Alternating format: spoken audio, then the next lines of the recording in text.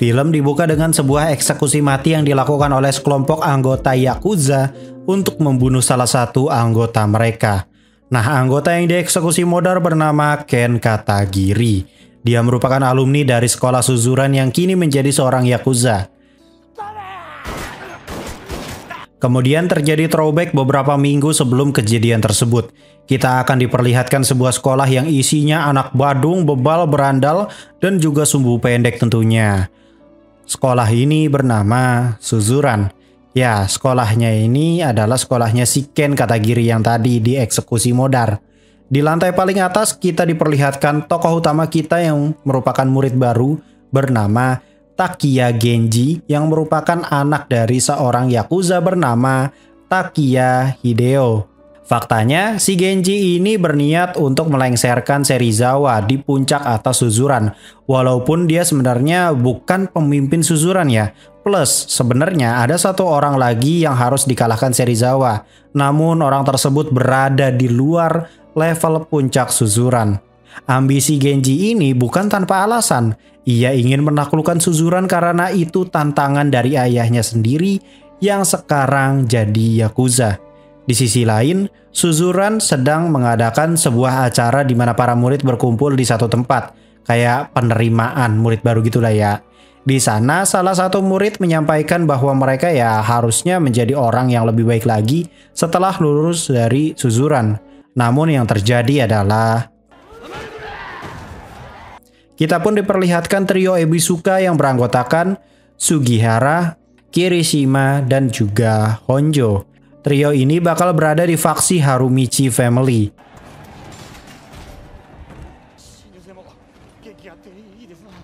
Acara tersebut pun jadi kacau karena semua murid memang berambisi untuk berada di puncak suzuran. Mau yang baru masuk atau yang kelas 2 ataupun yang kelas 3 pasti tujuannya sama. Sedangkan pada adegan ini sepertinya isinya adalah anak baru semua ya atau freshman. Tak lama dari itu, salah satu petinggi sekolah Suzuran memberitahu bahwa Suzuran kedatangan kelompok Yakuza. Kelompok itu dipimpin oleh Ken Katagiri yang kita lihat di awal film tadi. Sekelompok Yakuza ini mencari seorang pria bernama Serizawa yang kini memang berada di level rooftop Suzuran. Namun orangnya lagi nggak ada di sekolah. Si Ken Katagiri pun pergi ke warung Madura sebentar buat beli juara ketengan. Apesnya, anak buah Ken Katagiri ini malah ketemunya sama si Genji anjing. Apes pisan. Di sisi lain, kita diperlihatkan sosok pemimpin fraksi rooftop untuk saat ini yang bernama Serizawa. Ia ternyata sedang menunggu temannya yang baru saja medical check up. Temannya itu bernama Tokyo. Nah, for your information, Tokyo ini merupakan sahabat dekatnya Genji dulu waktu di SMP. Nah, sosok Tokyo sendiri kayak semacam wakilnya gitu cuy di faksinya Serizawa ini. Namanya ya Serizawa Army. Nah, Serizawa ini pun meminta Tokyo untuk pulang jalan aja sedangkan dia naik motornya Tokyo. Padahal sebenarnya Serizawa ini nggak bisa naik motor cuy.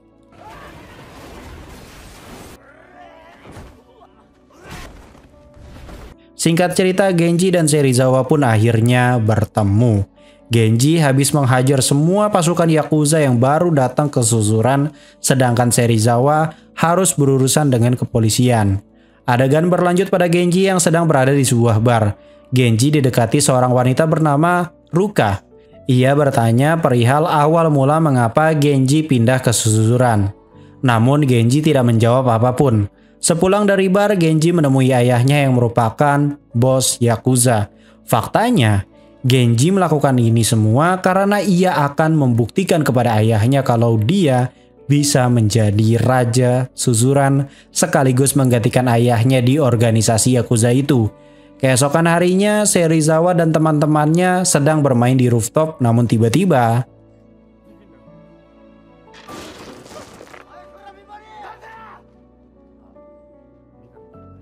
Emang kurang ajar anjing si Genji ini. Aing gak kalau gitu naik darah anjir. Namun si Serizawa dan Tokaji ini ditahan oleh Tokyo yang merupakan teman SMP-nya si Genji kan.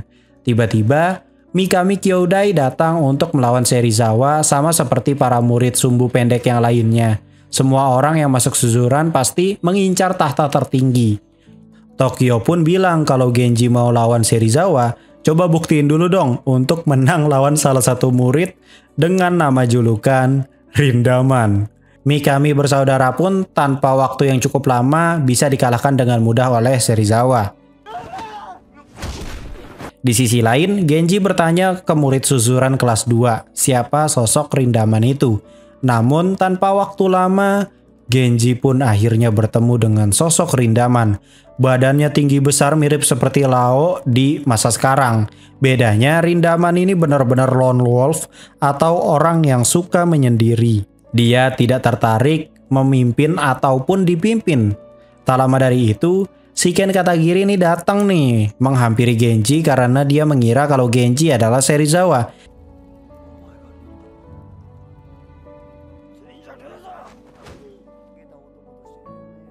Ia pun ngobrol panjang dengan Genji di bar langganannya si Genji.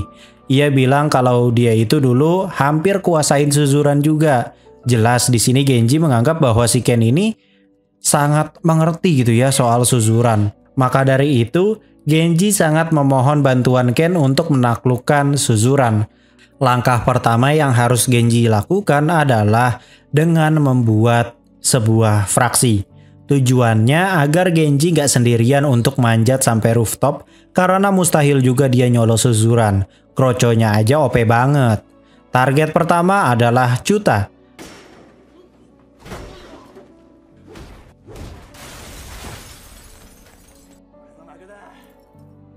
Setelah itu, Ken kembali ditekan oleh bosnya yang ternyata musuh besar bokapnya Genji. Sore harinya, Tokyo menceritakan tentang Genji. Namun Serizawa mengecam bahwa siapa pun yang ingin melengsarkan dia, akhirannya bakalan terus gagal. Serizawa juga khawatir dengan kondisi dari Tokyo di sini.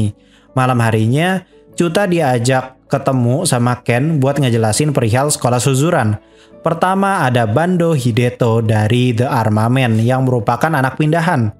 Terus ada kelas 1 yaitu Trio Ebisuka Sedangkan Rindaman berada di luar level puncak suzuran ya karena saking kuatnya dia jadi dia nggak pernah sekalipun kalah bahkan oleh Serizawa sekalipun. Dia tidak berfraksi dan hanya sendirian atau disebut Lone Wolf. Nama aslinya sebenarnya adalah Megumi Hayashida.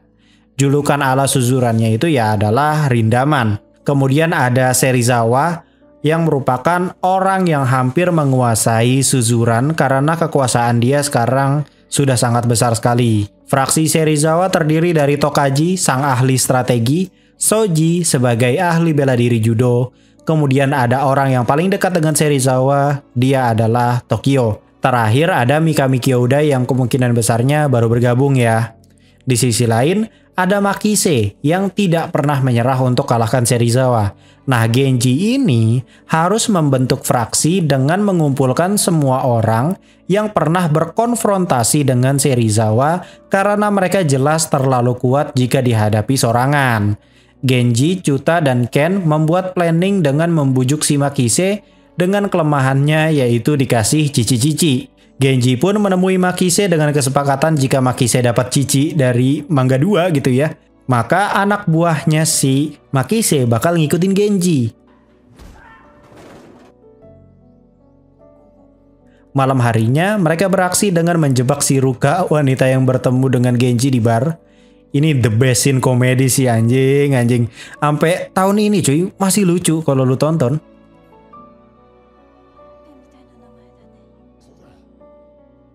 Makanya gue berekspektasi tinggi banget ke Binzo nanti. Biar dia yang sering ngelawak aja gitu. Lawak tuh bukan berarti dia ngebadut doang terus lemah gitu cuy. Justru karena dia lawak tapi aslinya OP itu jadi ikonik cuy. Justru jadi makin terkenal gue yakin. Jadi ikonnya gitu justru. Singkat cerita rencana mereka gagal karena Ruka sadar kalau mereka tuh dijebak gitu ya. Genji pun mulai frustasi karena rencana bodoh ini cuman buang waktu doang. Namun si Ken punya alternatif lain dengan membawa Makise ke pijit plus plus si Aji. Kenapa nggak plan pertamanya ini? Namun belum juga jalan gitu ke tempatnya, Makise ternyata Saat berpamitan, Genji diberitahu bahwa Makise akan bersatu dengannya. Keesokannya, Genji mulai melakukan invasi besar-besaran dengan mencari siapa pun yang berkonfrontasi dengan Serizawa. Di sisi lain, Serizawa sedang asik main bowling di rooftop.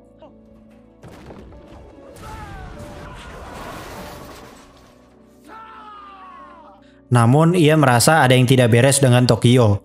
Di sisi lain, trio Ebisuka berhasil menguasai kelas 1. Mereka pun ditemui oleh Izaki yang cukup kagum dengan kehebatan mereka. Nah, Izaki ini mirip kayak Makise. Dia nggak mau ngikut Serizawa dan sekarang sudah punya fraksi sendiri. Genji pun janjian dengan Izaki untuk berduel. Namun Izaki mau Genji itu bisa penuhi syaratnya terlebih dahulu yaitu Genji tidak melawan Serizawa namun Izaki lah yang harus menghajar Serizawa. Seketika, Genji langsung diserang oleh kroconya si Izaki yang OP banget cuy ternyata.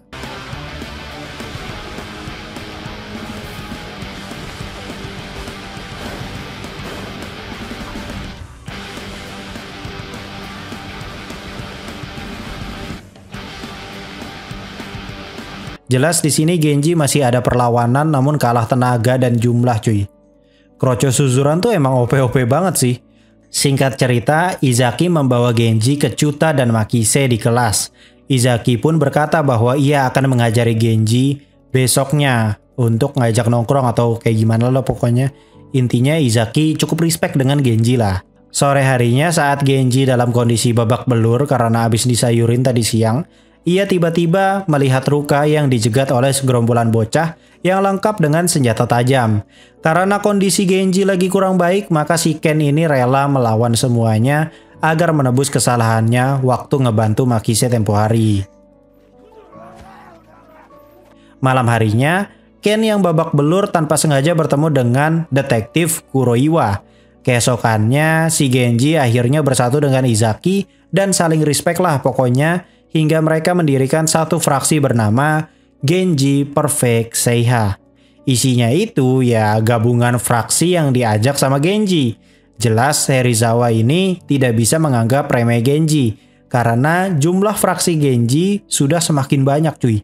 Tokaji pun berinisiatif untuk menghajar Izaki dengan semua keroconya lengkap dengan senjata. Genji jelas sudah emosi parah dengan tingkah dari Serizawa Army yang kagak sportif pisan gitu ya. Namun Izaki melarang Genji untuk bertindak sembrono karena mereka masih kalah jumlah. Makise pun menasehati Genji untuk jangan bersifat sumbu pendek karena dia itu sekarang pemimpin.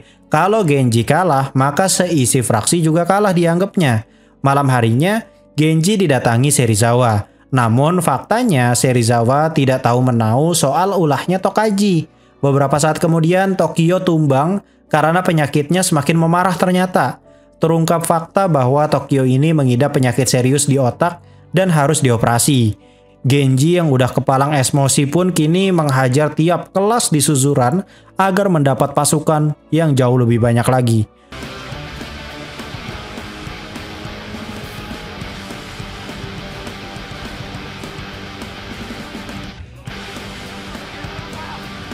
Namun Makise merasa ini terlalu berlebihan juga gitu ya. Karena Genji nyerangnya tuh kayak nggak make rem cuy. Orang udah kewalahan, udah babak belur masih aja disayurin.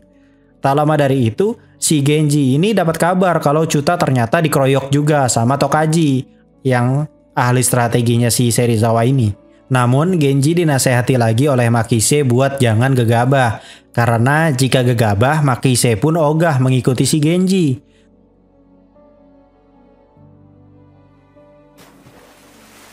Malam harinya, Shiken baru menyadari bahwa Genji selama ini merupakan anaknya Takie Hideo dari Yakuza klan Ryusekai.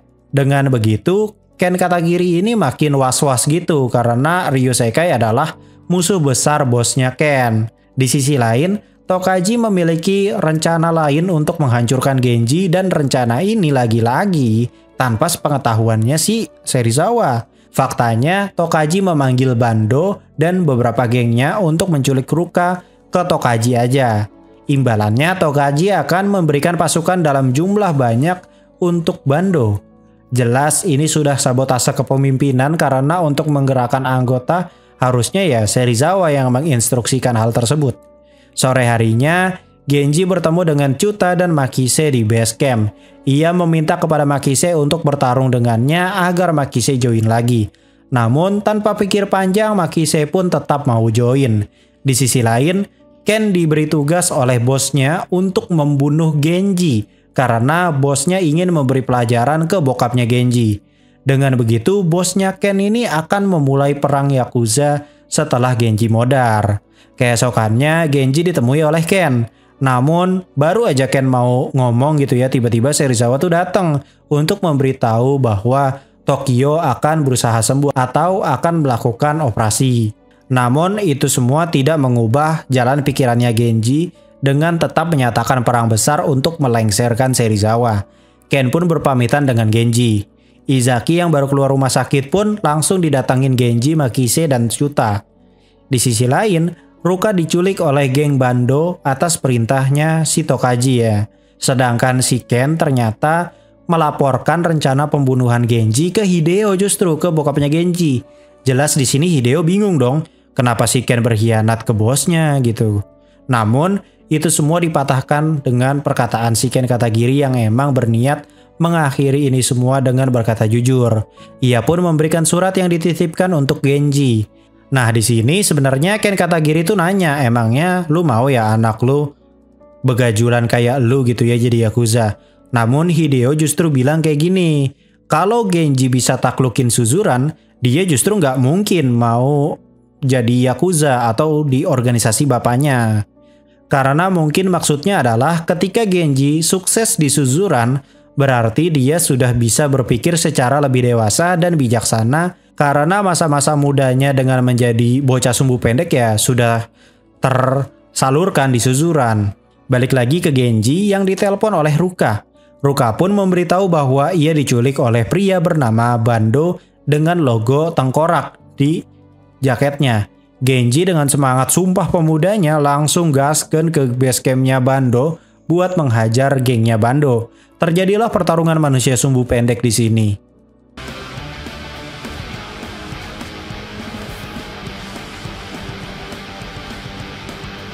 Bando pun menjelaskan bahwa ia tidak tahu menau perihal ini justru. Ia hanya ditugaskan membawa Ruka tanpa tujuan yang jelas. Sebagai permintaan maaf karena sudah salah sangka, Genji mewakili Makise untuk diiris telinganya. Untungnya Bando berubah pikiran. Kini Genji sudah tahu betul siapa dalangnya. Ia pun langsung ke base campnya si Tokaji. Namun faktanya, Serizawa juga baru tahu perihal penculikan ini dan mau tidak mau Serizawa akan berperang dengan Genji. Sepulang dari Suzuran, Genji diberitahu ayahnya kalau Ken Katagiri akan modar karena lebih memilih berkhianat ketimbang membunuh sahabatnya sendiri. Genji yang tidak terima langsung mengambil katana untuk membantai organisasi Yakuza itu. Namun Genji dicegah oleh ayahnya. Karena jika Genji nyolok pakai katana, ya itu sebenarnya sangat berbahaya. Lebih baik penuhi aja kemauan Ken Katagiri Keesokan harinya, Ken memutuskan untuk menghadap sang bosnya. Tokyo akan melakukan operasi dan Serizawa berperang melawan Genji.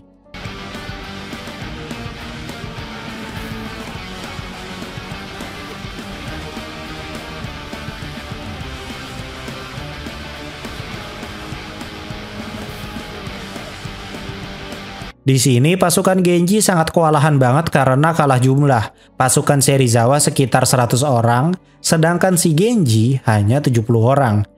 Di saat semua pasukan Genji sudah semakin terkikis, tiba-tiba datang Bando dengan gengnya yang kini berkonfrontasi juga dengan Serizawa.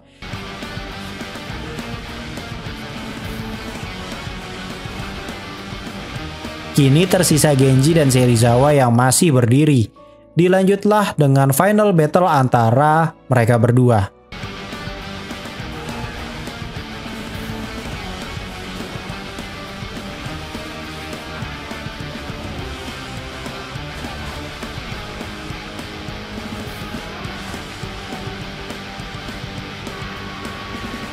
Ternyata pertarungan diakhiri dengan kemenangan Genji sekaligus menjadikan Genji sebagai orang yang melengserkan Serizawa. Namun Serizawa juga respect dengan Genji yang sudah berhasil melakukan sebuah pendobrakan besar. Serizawa juga senang gitu ya karena mendapat kabar kalau operasinya Tokyo berjalan lancar. Di sisi lain, Ken diberi hadiah jas oleh bosnya sebagai kenang-kenangan terakhir. Eksekusi Ken Katagiri pun dilakukan seperti yang ada di awal film tadi.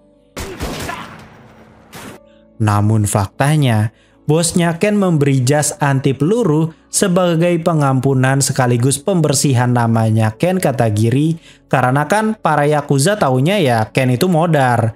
Jadi dengan begini Ken bisa lanjutin hidup tanpa bayang-bayang dia pernah jadi Yakuza.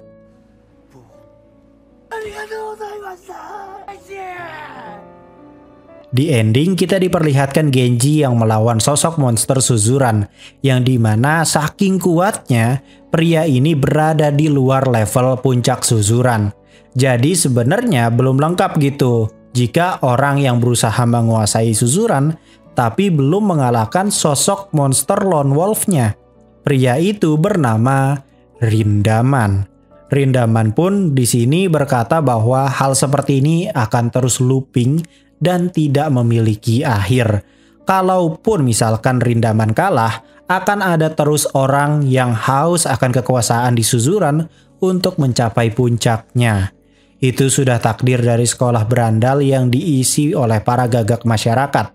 Dimulailah pertarungan Genji versus Lone Wolf terkuat Suzuran.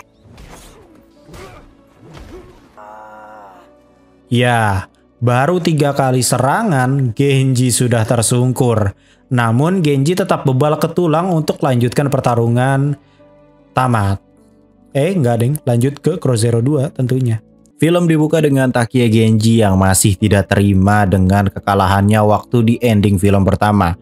Ia kembali berusaha menghajar Rindaman, namun akhirannya tetap sama.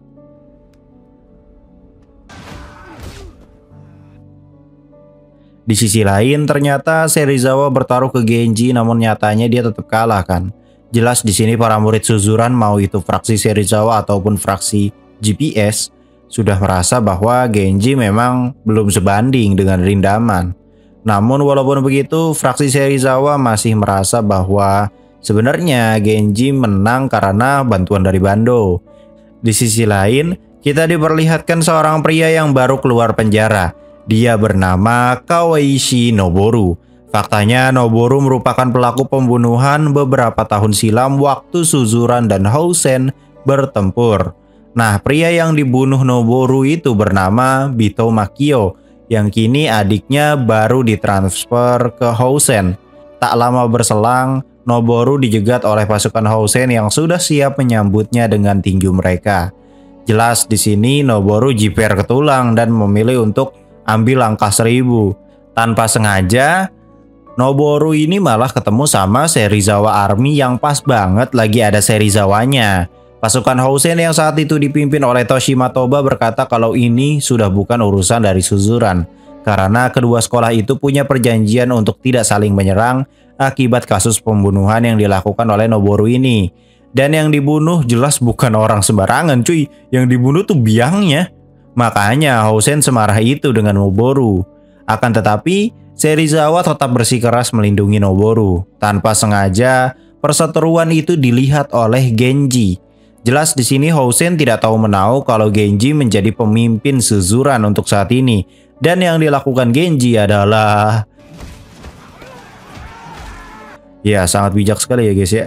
Dengan ini perjanjian perdamaian antara Suzuran dan Housen pun rusak. Kini Housen resmi kembali berkonfrontasi dengan Suzuran. Kemudian diperlihatkan flashback di mana Housen dan Suzuran bertempur dua tahun lalu. Pada saat itu, Bito Makio yang jadi Raja Housen berhadapan dengan Noboru. Namun, Noboru curang karena main pisau hingga Bito Makio modar. Serizawa Army yang menyaksikan hal itu terlibat perjanjian dengan Housen untuk tidak saling menyerang. Sedangkan Noboru tuh dipenjara akhirnya. Jelas di sini Genji rada kepikiran karena dia terlalu sumbu pendek untuk jadi seorang pemimpin. Di sisi lain, Noboru datang ke kantor bosnya Ken Katagiri, namun ia baru tahu kalau Ken Katagiri sudah dibunuh oleh bosnya karena melanggar peraturan. Padahal sebenarnya kan si Ken itu masih hidup ya. Berlanjut pada Housen yang mengadakan rapat besar di mana mereka akan menyatakan perang dengan Suzuran. Untuk saat ini, Housen dipimpin oleh pria bernama Narumi Taiga.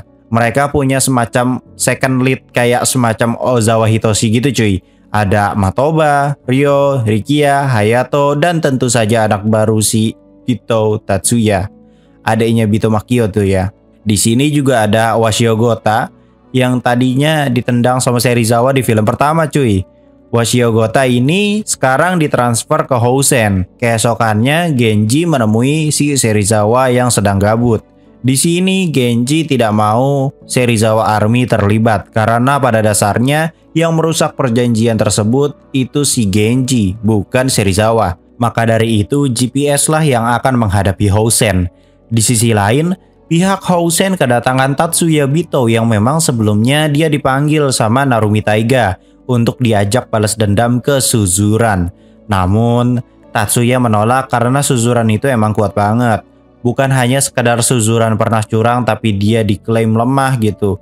Bagi Tatsuya, kesalahan Suzuran pada masa itu ya hanya ide bodoh dari Noboru aja. Jadi Noboru yang cemen atau goblok gitu. Sedangkan Suzurannya sendiri tidak pernah berubah. Sekolah itu akan tetap jadi yang terkuat.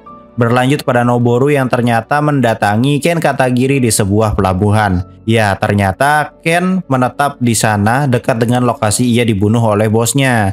Kini ia hidup menjadi seorang nelayan tanpa bayang-bayang Yakuza. Keesokannya si Makise yang sedang kampanye fraksi GPS malah diledek oleh salah satu murid. Dan yang terjadi adalah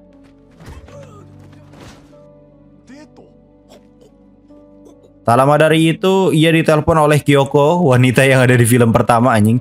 Nah, dia ini ngajak ketemuan lagi sama si Makise di pinggir sungai besok anjing cabul parah goblok. Di saat yang bersamaan, ternyata Izaki juga kampanye cuy buat ngajak fraksi lain biar gabung sama GPS. Contohnya si trio Ebisuka ini. Jelas di sini GPS memang butuh orang yang banyak ya kalau emang mau perang sama Housen. Malam harinya Genji diperkenalkan ibu barunya cuy anjir. Random banget anjing bokapnya teh.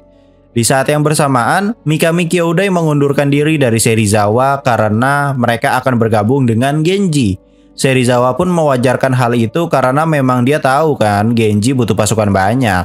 Keesokannya, Genji mengadakan rapat besar kepada pengikut baru GPS untuk berhadapan dengan Housen. Namun Makise tidak hadir.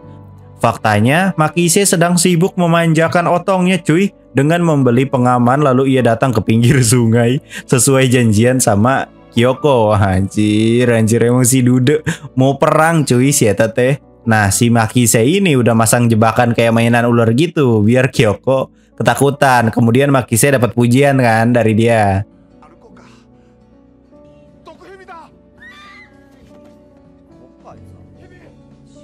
Sejauh ini rencana si botak ini berjalan lancar cuy. Akan tetapi saat Makise mau bertempur tiba-tiba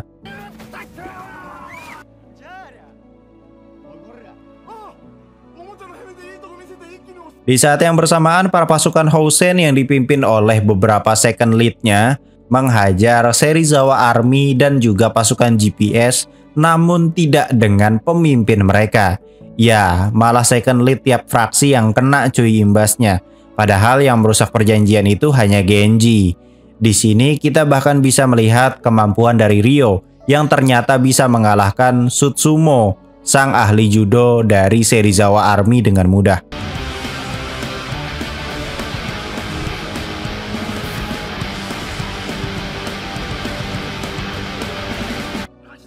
Sedangkan Makise dan yang lainnya berhasil kalahkan Kroco Housen cuy. Washio Gota berusaha membunuh si Makise pakai pisau tuh di situ. Untungnya hal itu digagalkan nama Narumi Taiga. Di sini Narumi Taiga tuh cukup respect ya dengan si botak cabul ini karena kan doi lelaki sejati parah. Ia pun kini penasaran dengan sosok pria yang katanya berhasil kalahkan sosok Serizawa. Keesokannya, Genji sudah mulai emosi karena semua pasukannya kena kroyok cuy walaupun ada beberapa yang masih kuat gitu kayak Makise, Cuta dan yang lainnya, Izaki juga gitu kan. Tapi Izaki pun mengatakan kalau dia ini selama ngikutin Genji itu karena dia tuh percaya sama Genji bakal jadi pemimpin yang hebat. Izaki juga mempunyai sebuah planning baru untuk kalahkan Housen. Di sisi lain, si Tokaji melaporkan kejadian semalam juga karena dia kena kroyok juga cuy. Namun tak lama dari itu Izaki datang untuk menantang Serizawa dengan taruhan. Jika Izaki menang, maka Serizawa harus membantu GPS untuk mengalahkan Housen. Terjadilah pertarungan lelaki sejati di sini.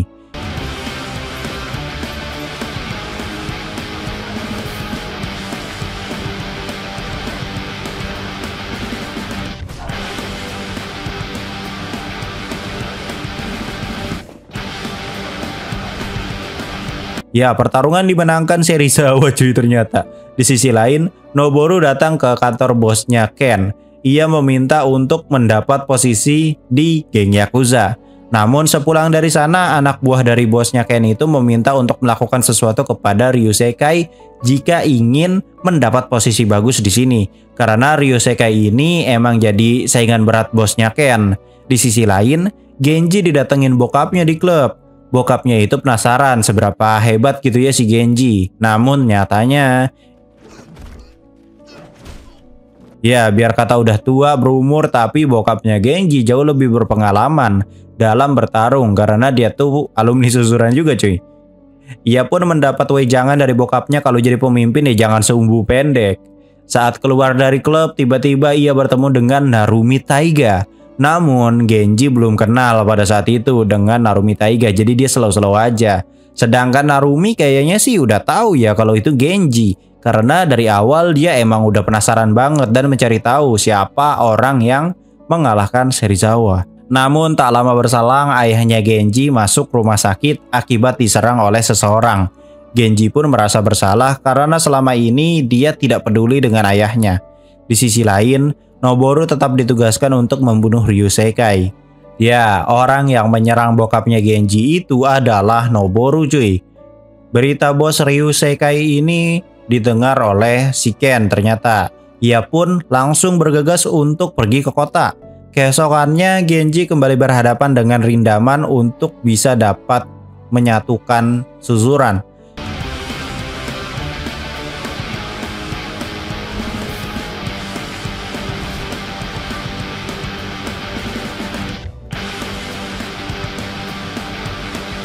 tapi hasilnya tetap sama.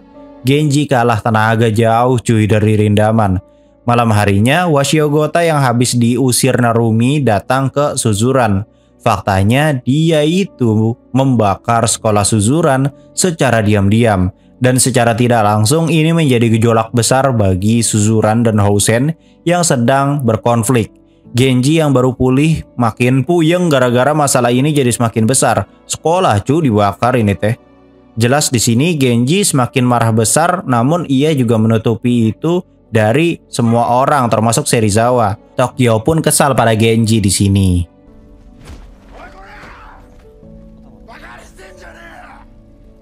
Pagi harinya Genji ditemui oleh Serizawa yang ternyata sudah tahu ya kalau Genji ada di sana ternyata. Tempat ini merupakan tempat di mana Genji terakhir melihat Ken Katagiri.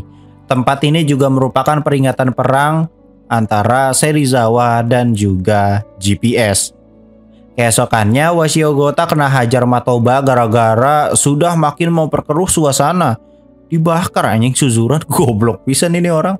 Tak lama dari itu, Genji datang untuk menyatakan perang besar. Hosen tidak perlu keluar untuk berperang karena Genji berjanji akan menghancurkan Hosen di kandangnya sendiri. Gelo. Setelah dari Housen, fraksi GPS kembali mengajak trio Ebisuka untuk berperang bersama, namun mereka menolak karena menurut mereka ya ini tuh konflik GPS dan yang nyari gara-gara tuh Genji. Kenapa mereka harus ngebantu gitu kan? Tak lama berselang, si Genji ngomong di pusat informasi Suzuran. Di sini ia mengatakan yang sejujurnya kalau dia datang ke Suzuran itu emang ingin mendapat attention dari ayahnya. Hingga akhirnya ia ingin menjadi pemimpin Yakuza seperti ayahnya. Ia pun kini meminta semua fraksi Suzuran untuk membantunya melawan Housen. Keesokannya, Noboru datang untuk membunuh Takia Hideo yang sedang koma. Untungnya hal itu berhasil digagalkan Ken yang datang tepat waktu. Ken dan Noboru yang ketahuan kini harus ditangkap oleh anak buah Ryu Sekai. Akan tetapi, hal itu dibatalkan oleh Takia Hideo yang kini sudah siuman. Di sisi lain, pasukan suzuran yang dipimpin Genji hanya sedikit yang ikut serta cuy ternyata. Bahkan gak sampai setengah dari Hosen. Terlebih lagi, para anak-anak kelas 1 yang dipimpin oleh trio Ebisuka menolak untuk ikut campur urusannya Genji karena kurang pasukan, Genji tidak mau ambil resiko kan. Ia pun membubarkan GPS kemudian berangkat sendiri ke Housen. Izaki yang menyadari hal tersebut mengerahkan seisi GPS untuk menyusul. Sedangkan Serizawa memutuskan untuk membantu dengan arminya. Di sisi lain, Genji beneran ngesolo Housen cuy di kandangnya.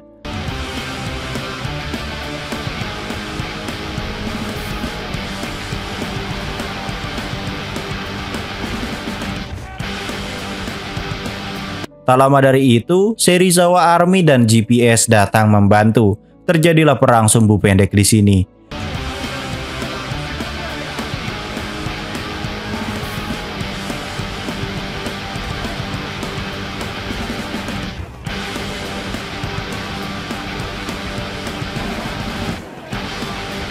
Karena Suzuran cukup mendominasi dari tenaga, mereka pun nge-push sampai masuk ke dalam gedung.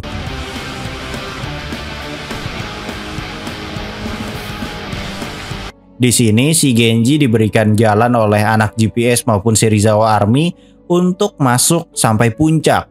Sedangkan Narumi Taiga sedang berduel dengan jagoan dari segala jagoan kita si abang ejakulasi dini siapa lagi kalau bukan Makise.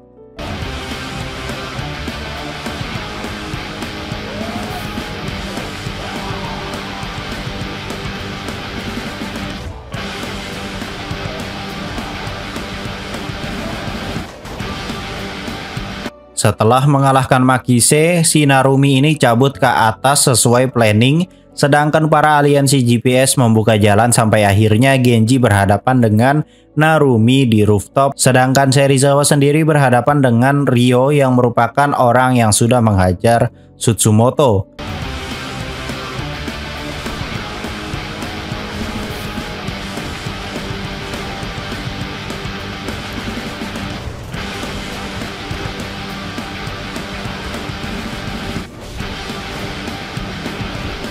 Singkat cerita, semua anak suzuran menang atas pertarungan mereka masing-masing, hingga akhirnya Washiogota mencoba membunuh Genji namun digagalkan Tatsuya. Ia pun melanjutkan pertarungan namun kali ini Serizawa dan Tatsuya menjadi saksi kemenangan.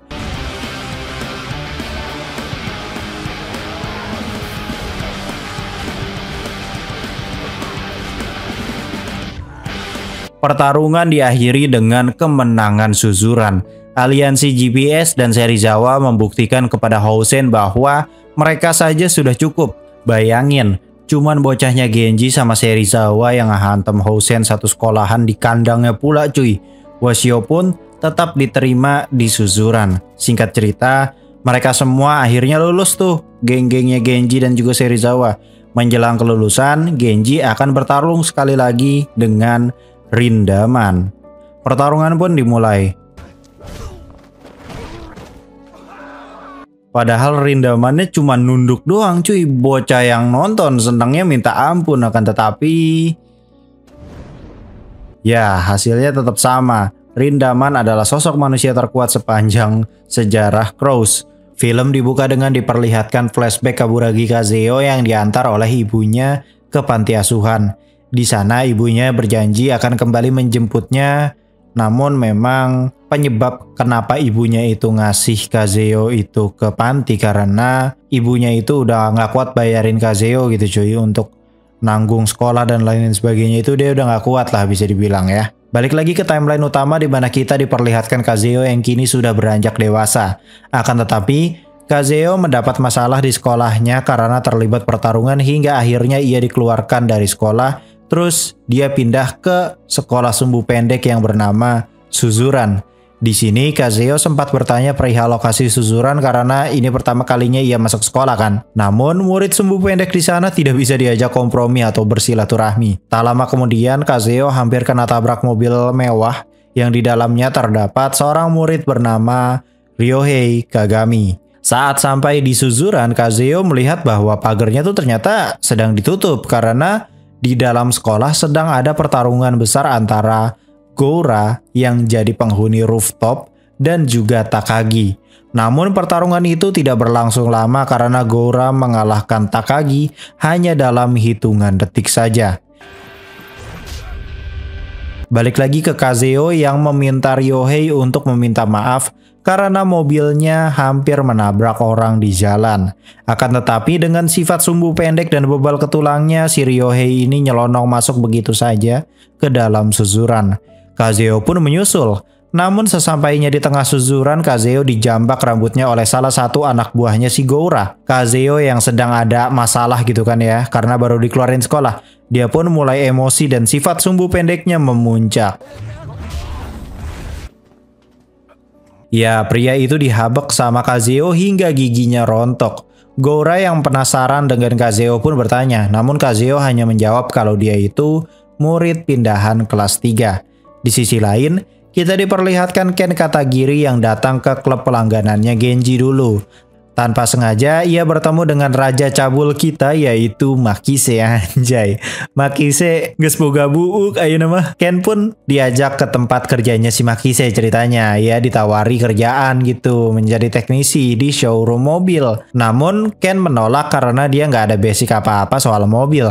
Tak lama dari itu, kakaknya Makise yang merupakan janda anak satu datang. Seketika, Ken berubah pikiran dan menyetujui penawaran dari Makise. Kakak Makise ini bernama Aya. Ini anaknya bernama Sota. BTW itu berarti bukan Binzo anjir, namanya Sota, cok. Bukan Miyauchi Kozo. Di sisi lain, Kazeo diajak oleh tiga teman barunya. Ada Ogisu, Momo, dan juga Kogoro. Mereka merupakan fraksi paling kecil karena anggotanya cuma mereka bertiga doang. Faktanya, orang yang dipukul Kazeo merupakan anggota fraksi Goura dengan peringkat kekuatan 5. Jadi dia merupakan urutan 5 di orang terkuat di fraksinya Goura. Kemudian kita dijelasin tuh soal fraksi di Suzuran pada masa itu ya. Ada Goura, sang penghuni rooftop, Nah, fraksinya Gora ini sekarang bersatu dengan fraksinya Takagi yang tadi dipukul sekali gitu cuy, langsung modar. Di sisi lain ada Yamashita Gohei yang merupakan anak pindahan seperti si Kazeo. Dia pemerannya itu Ice cuy. Terus ada Seki tapi di sini namanya Suji Taira. Kemudian ada Rindaman yang berada di luar level puncak karena terlalu kuat cuy. Gak bisa dikalahin sama sekali. Ya, dia itu adalah Megumi Hayashida di timeline ini memang dia tuh masih ada cuy. Sampai eranya Boya tuh dia masih ada. Bahkan seingat gue ya, sampai timelinenya Boya itu dia tuh benar-benar masih unbeatable cuy. Benar-benar tak terkalahkan sama sekali. Pernah sih sekali itu cuman seri sama Boya. Itu pun seri boy bukan kalah. Nah, sosok Rindaman ini ya dijuluki sebagai lone wolf karena nggak berfraksi. Plus dia itu mau di mana aja terserah. Dia mau di rooftop kayak, dia mau di kolam renang kayak bebas. Karena siapa juga yang mau ngalangin raksasa kayak begini? Nyari mati aja gitu kan misalkan. Kemudian ada Ryohei sendiri yang menjadi seorang pemenang freshman. Sedangkan trio Ebisuka sendiri udah jadi senior di sini dan dimension juga kok sama Suji Taria bagi kalian yang komplain ini tuh kok ngaco ya nggak ada trio Ebisuka sebenarnya. Mungkin kalian kurang teliti aja karena karakternya tuh tetap dimention kok, tapi memang nggak dimunculkan pada filmnya aja. Mungkin keterbatasan budget bisa jadi. Sore harinya, sepulang dari Suzuran, Kazeo bertemu dengan adik pantinya yang bernama Mia. Rupanya, Mia kepergok mencuri sebuah kaset gitu, kayak kaset musik itulah ya pada zamannya.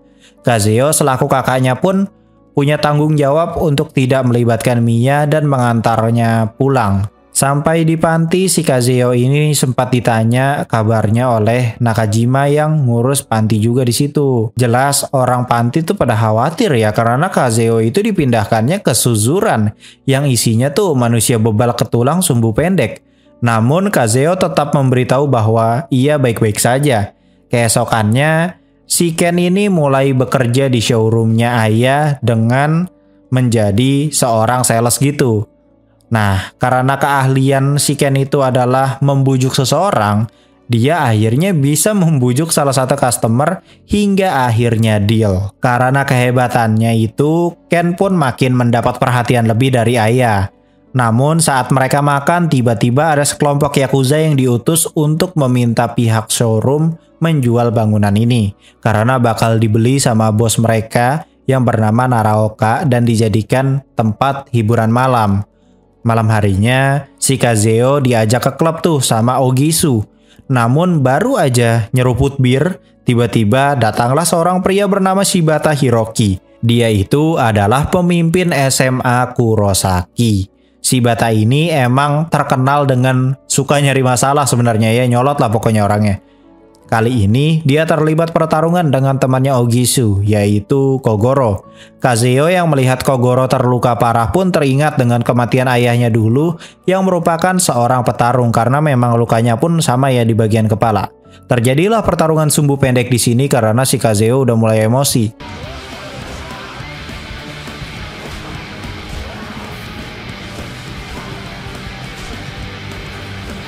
Di sini si Kazuo hampir bertarung dengan si Bata, namun terhalang dengan polisi yang datang. Nah setelah berada di belakang klub ini, ini orang berdua malah sohib cuy. Karena si Bata ini mengetahui tatapan dari si Kazeo emang bukan orang sembarangan. Dan memang bukan orang berandalan juga, jadi ini orang baik-baik nih. Si Bata juga mengatakan kalau Kazeo kan cukup kuat nih. Gaskan aja jadi bos suzuran, siapa tahu bisa.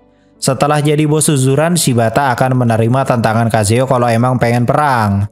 Keesokannya, Ken menemui bos Yakuza yang selalu ngancem showroomnya Makise. Dia itu bernama Naraoka. Ia meminta Nara untuk stop melakukan kekerasan atau apa pun itu ancamannya karena emang keluarga Makise itu gak mau ngejual tuh showroom. Bisa dibilang showroom itu banyak kenangannya cuy. Namun si bos tetap bebal ke tulang akan keputusannya. Saat Ken mau pulang, ia bertemu dengan Ryohei. Faktanya, Ken sudah kenal lama dengan Ryohei. Si Nara pun bilang kalau Ryohei ini sekarang jadi anak angkatnya yang bakal nerusin bisnis Yakuzanya. Di sisi lain, si Bata mengadakan sebuah tes seleksi di SMA Kurosaki. Tak lama dari itu, Kurosaki didatangi Fujiwara. Di saat yang bersamaan, Kazeo menemui ibunya yang berziarah ke makam ayahnya. Faktanya, ibunya itu udah nggak tinggal bareng Kazeo semenjak Kazeo kecil seperti yang di awal film tadi karena faktor ekonomi. Tanpa sengaja, Ogisu tuh melihat Kazeo. Dan cukup, apa ya bisa dibilang cukup respect lah ya. Ogisu pun mengajak Kazeo ke pemandian air panas bersama Kogoro dan juga Momo. Anjing, bugil gitu anjir ternyata permandian air panas Jepang teh. Nah, si Ogisu ini ngasih tahu tuh kalau mereka bertiga tuh punya masalah atau kesulitannya masing-masing. Jadi wajar kalau Ogisu mengajak Kazeo berteman, siapa tahu relate gitu kan cerita-cerita. Tak lama dari itu, Kogoro dan Momo dihajar anggota Yakuza. Hal itu didengar oleh Ken Katagiri yang kebetulan sedang berada di tempat yang sama dengan Makise. Akan tetapi, Makise sudah tobat ternyata cuy berkelahi. Alhasil mereka ambil langkah seribu cuy. Lari gitu anjing bugil-bugil anjing goblok. Keesokannya Ken datang ke Suzuran untuk menemui Ryohei. Namun saat bertemu, Ryohei tidak menganggap Ken kata Giri. Untungnya di situ ada Kazeo yang berusaha menenangkan Ken yang sedang sakit hati lah bisa dibilang ya. Ken ini menceritakan tuh bahwa dulu Ryohei itu diasuh oleh Ken Katagiri ini karena ayah kandung Ryohei itu adalah saudara kandungnya Ken Katagiri. Namun setelah kematian ayahnya, Ryohei ini menjadi pemurung kemudian dibuang oleh keluarga. Maksud Ken datang itu hanya untuk memastikan kalau si Ryohei ini hidup dengan bebas tanpa belenggu apa pun. Di sisi lain, kita diperlihatkan grup yang dipimpin ayah angkatnya si Ryohei atau grup Nara ini atau grup Otsu lah. Disebutnya dua sih sebenarnya ya. Bisa grup Nara, bisa grup Otsu. Nah, si Nara ini menugaskan salah satu anggota baru yang bernama Fujiwara. For your information, Fujiwara ini merupakan mantan anak sekolah Kurosaki. Ini semua dikarenakan Fujiwara selalu mengatasnamakan Yakuza untuk kepentingan pribadi. Contoh waktu dia datangin Kurosaki, sosokan gitu kan di depan Shibata. ia kini bisa melakukan hal bebas keributan gitu asalkan dia bisa menghancurkan showroomnya Makise. Ia pun kini menyerbu kroco dari Kurosaki dan juga Suzuran.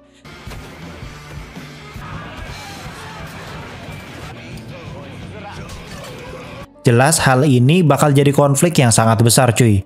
Setelah semua konflik itu tuh ya, Ken di sini jadi sasaran empuk cuy karena mereka berusaha untuk menghancurkan showroomnya Makise. Untungnya sang jagoan cerot kita datang cuy tepat waktu.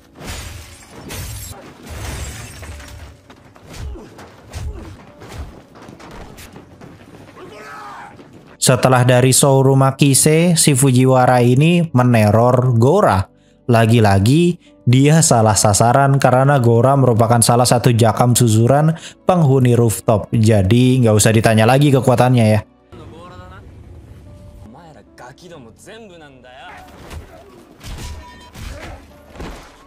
Kekacauan itu akhirnya tersebar sampai ke telinganya Kazeo. Namun saat itu Kazeo ditantang oleh Gohei. Jelas Kazeo menolak karena dia itu nggak berniat untuk jadi jakam susuran. Namun Gohei yang bebal ketulang pun tetap maju dan... Ya, hanya sekali tendangan hilang orangnya boy boy. Di sisi lain, Gora mulai naik darah karena ini bukan urusan suzuran, tapi kenapa suzuran yang kena getahnya gitu kan? Jelas ini sudah memancing perang ya, karena seperti hukum suzuran aja gitu, jika disenggol itu sama saja join perang.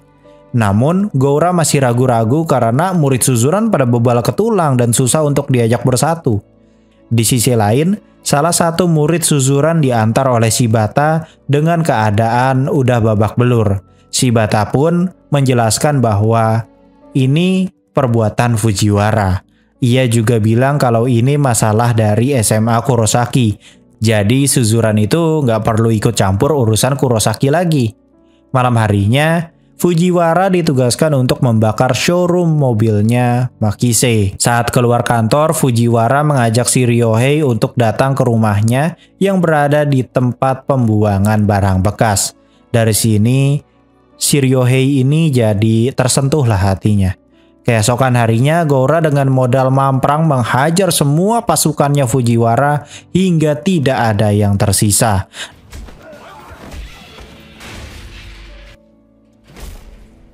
Namun tanpa ia sadari, ia terkena tusukan pisau oleh salah satu pasukan Fujiwara. Karena Gora ini bisa dibilang durability-nya teh kuat parah gitu ya. Ia pun langsung datang ke pemimpinnya yaitu Ryohei. Ryohei ini kan anak bosnya si Fujiwara kan. Di sini Ryohei menghajar Gora karena keadaan Gora sudah kehilangan banyak darah akibat ditusuk tadi. Namun anak Suzuran tetap menganggap Ryohei itu telah menang lawan si Gora walaupun sebenarnya yang nganggap menang itu cuman anak-anak kelas 1 sih ya. Karena kalau semuanya sih harusnya ada si trio Ebisuka ya nggak sih? Si Ryohei ini langsung pede ke tulang buat nantang Kazeo. Namun seperti biasa, Kazeo itu akan selalu menolak karena dia itu emang gak mau nyari ribut aja gitu. Dia kan masuk suzuran karena dipindahin cuy. Shibata datang ke tempatnya Fujiwara untuk berduel menyelesaikan masalah. Nah ini dari laki-laki sejati boy. Kalau ada masalah teh langsung ngomong gitu sama orangnya langsung gas ketemu to the point gak keluar-keluar di sosmed boy.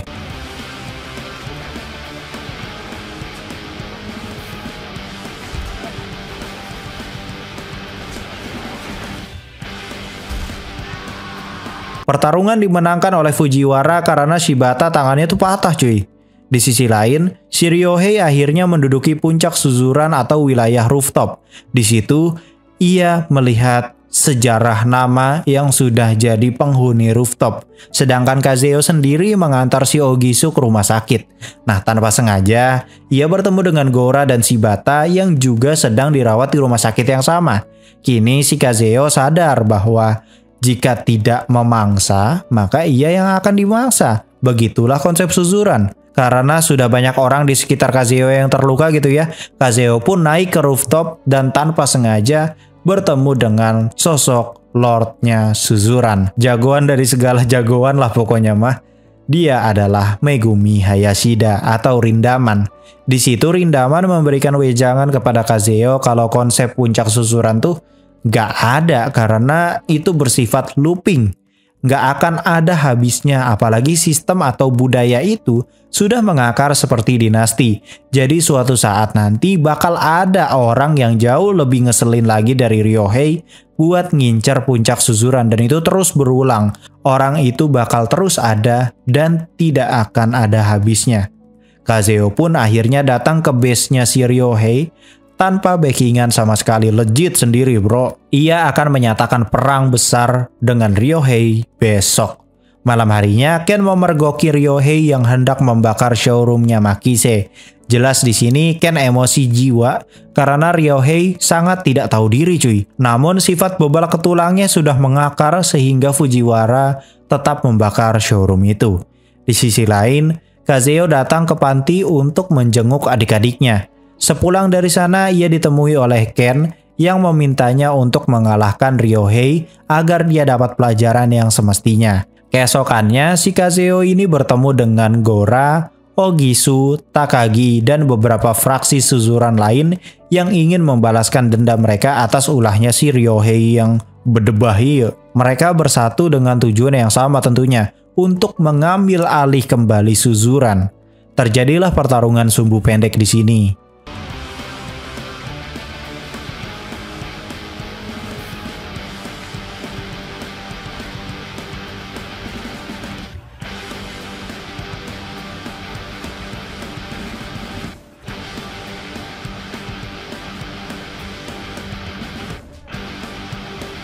Gora di sini berhasil memojokkan Fujiwara. Jelas Fujiwara yang pengecut begitu bukan tandingan si Gora yang sebelumnya jadi penghuni rooftop tentunya. Namun Fujiwara di sini tuh curang cuy karena menyerang lukanya si Gora. Saat terpojok, Fujiwara harus berhadapan dengan si Bata yang kini datang ke Suzuran untuk menghajarnya. Gampang pisan masuk Suzuran si goblok. Namun pertarungan mereka mendadak berhenti karena si Fujiwara melihat bekas luka milik si Bata yang ternyata bekas luka itu didapat atas kebodohannya si Fujiwara. Kini Fujiwara sadar dan pergi dari sana.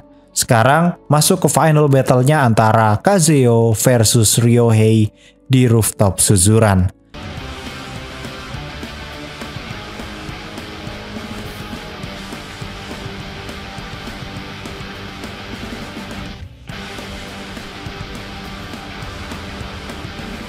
Kemenangan akhirnya diperoleh oleh Kazeo yang kini resmi berada di level rooftop Suzuran.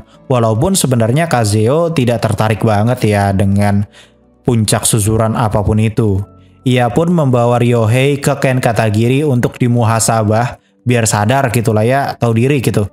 Film ditutup dengan Makise dan Ken yang kembali mendirikan showroom. Sedangkan Kazeo kini menantang Rindaman untuk mengukur seberapa kuat dirinya. Hasilnya pun tetap sama ya tentunya. Rindaman tetap berada di luar level Suzuran karena ya sampai generasi Boya pun masih unbeatable nih orang cuy.